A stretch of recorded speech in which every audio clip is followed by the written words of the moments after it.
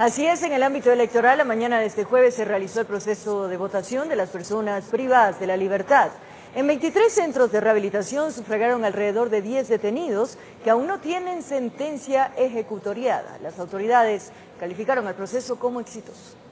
Este es el centro de detención de mujeres en el sur de Quito.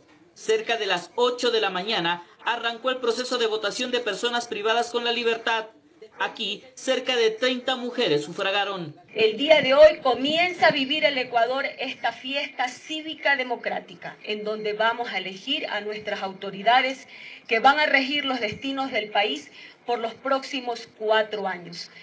Este proceso se ha repetido en 23 centros carcelarios en 20 provincias del país. Son más de 10.000 las personas que han accedido a este derecho. Con ello, pues nosotros movilizamos nuestras juntas móviles, valga la redundancia, y eh, daremos paso a que todas estas personas puedan, en uso de su libertad, hacer, eh, poder ejercer este derecho. Recordemos que según la ley, solo los privados de la libertad que no tienen sentencia ejecutoriada pueden acceder al proceso. Es garantizar uno de los derechos más de los que tienen eh, las personas privadas de libertad, como es el derecho al ejercicio del voto.